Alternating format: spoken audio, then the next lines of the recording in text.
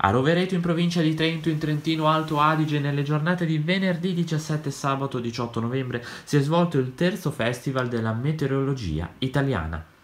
Per la prima volta all'evento era presente lo staff di Meteo Giuliacci e il colonnello Mario Giuliacci che ha ehm, visionato il festival nella giornata di sabato 18. È stato accolto con grande affetto e simpatia da tutti i partecipanti, dagli appassionati fino ai colleghi, per esempio da eh, Guido Caroselli e anche il figlio Andrea Giuliacci.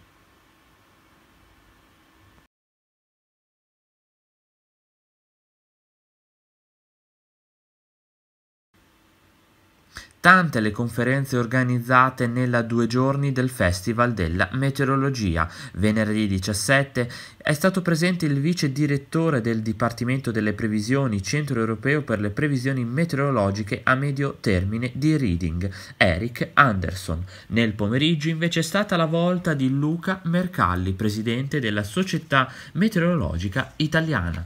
Nella giornata di sabato, dopo le conferenze della mattinata, la tavola rotonda ha attratto l'interesse di tantissime persone che hanno riempito la sala del festival.